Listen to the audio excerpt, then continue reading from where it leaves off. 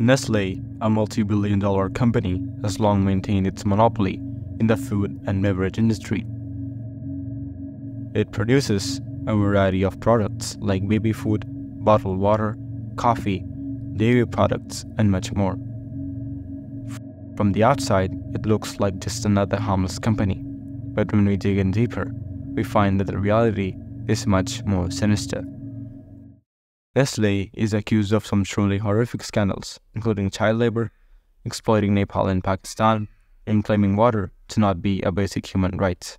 Die eine Anschauung, extrem würde ich sagen, wird von einigen von den äh, NGOs vertreten, äh, die darauf pochen, dass Wasser zu einem äh, ähm, öffentlichen Recht erklärt wird.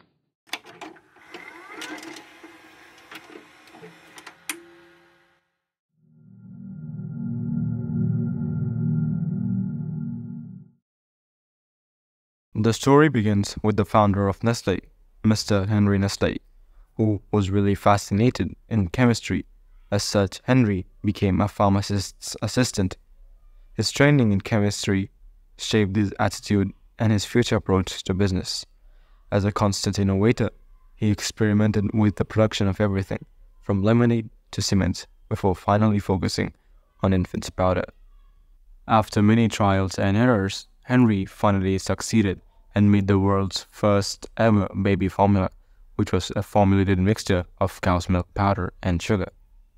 Henry then creates a company in 1866 and names it Nestle to begin selling the products. And in no time, this new company was a success.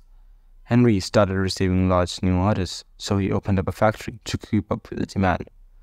He then tried experimenting with new products like chocolates and other stuff but little did he know that people would love his chocolates so much that the company's sales skyrocketed, which naturally made him one of the richest men in the country. Henry then sold his company to live the rest of his life peacefully. The new owners, however, had big plans. They wanted to expand their business. They wanted Nestle to assert dominance on the global market. So they started off their plan by merging their company to a big rival named Anglo Swiss, which created similar products at that time. Together, this company was called the Nestle Group. This group created various new products like new chocolates, beverages, and the infamous instant coffee powder.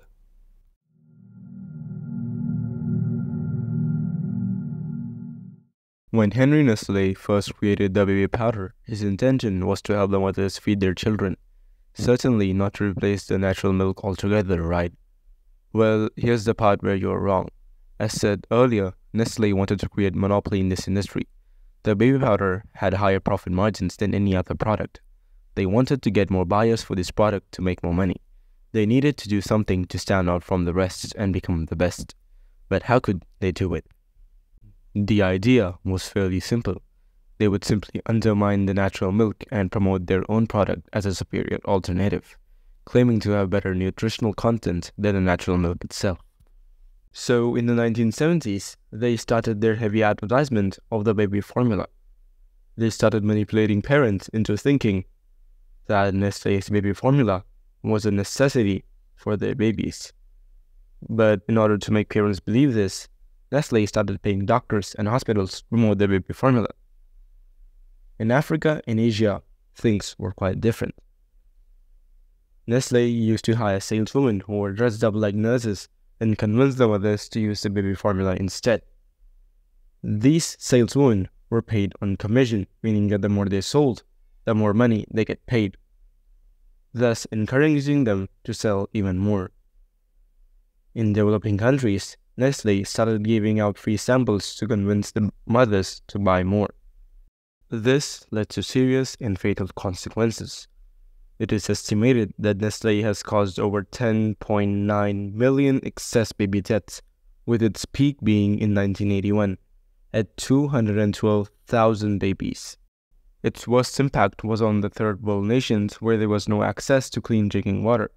The baby formula needed to be mixed with water in order for the babies to consume it, But as the dirty, contaminated water was mixed with the formula by the desperate parents, it made the babies very ill and fatigued. The price of the baby formula wasn't necessarily pocket friendly. To make matters worse, parents couldn't keep buying the baby formula for their babies. To make the boxes last longer, the parents started diluting the formula to points where there was practically none mixed with water, which directly made the baby even more malnourished. However, the tale doesn't come even close to the end.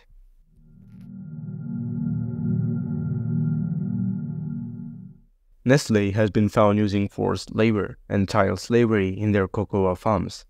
This cheap labor technique almost went unnoticed until the year 2000 when a report came out that said Nestle was guilty of buying blood chocolate, they were also aware of the enslaved children working in the plantations.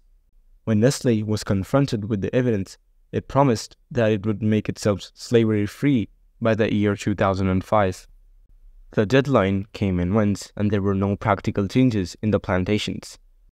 So the International Labor Rights Fund filed a lawsuit against Nestle on the behalf of three Malian children who were claimed that Nestle used to smuggle children to the Ivory Coast, where they were ill-treated, enslaved, and made to work in bad conditions. Nestle, however, responded to this, saying that it was impossible for them to keep track of everything and were trying to make the conditions better. In 2001, Nestle demanded $6 million from the Ethiopian government, which is one of the poorest countries in the world, to a conflict dated back to the 1970s, when a military regime in the country seized all the assets from foreign companies and nationalized them. Many years later, Nestle regained those assets from a different company and then sued the government. At the time of this demand, Ethiopia was struck with a severe famine, which affected the lives of more than 13.2 million people. And did the Ethiopian government pay Nestle the money back? The Ethiopian government at the time offered Nestle a sum of $1.5 million, as it was the most they could pay at that time. The Nestle group agreed upon the sum of $1.5 million.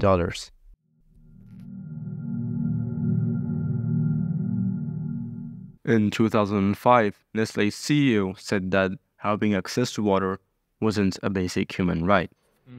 Äh, die darauf pochen, dass Wasser zu einem äh, ähm, öffentlichen Recht erklärt wird. After this, the media heavily criticized the CEO for his words. However, actions speak better than words, and the actions were really bizarre and scandalous. In 2013 Pakistan, Nestle began diverting clean water away from the villages and towns, and then began bottling water in their factories and selling these bottles back to the same people they took the water away from with a much higher price. Nestle had taken so much water that thousands had to drink dirty contaminated water instead because many of them couldn't afford the expensive water.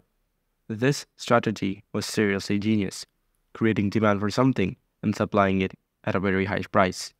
This sinister strategy led Nestle to make a lot of cash. It is believed that Nestle has sucked land dry at many places and made the water level fall hundreds of feet. But this strategy wasn't only used in developing countries. For example, California was suffering a severe water shortage. Many companies halted or completely stopped their operations. Nestle did the opposite and continued to pump 705 million gallons of fresh water from California's freshwater lakes and water parks, draining the state's water reserves and selling it back to the people. When asked about this, Nestle's CEO said that if he could drain more of California's water for more money and profit, he would do it. What is even more bizarre is that Nestle has only paid $200 to take almost 130 million gallons of fresh water from states like Michigan. If we calculate how much Nestle has made from this huge amount of water, it comes somewhere between 100 to 130 million dollars which is almost a 65 million percent increase. This shows us that these sinister companies can go to far extent just to fill their own pockets. They might never think about the consequences that may occur due to their actions. So, as the curtain falls on this story, remember that our choices matter As consumers, we hold the power to demand transparency, ethical practices, and positive change. Let's raise our voices and hold corporations accountable. Thank you for watching this video. Uh, I hope you like this video. Please make sure to subscribe. Thank you.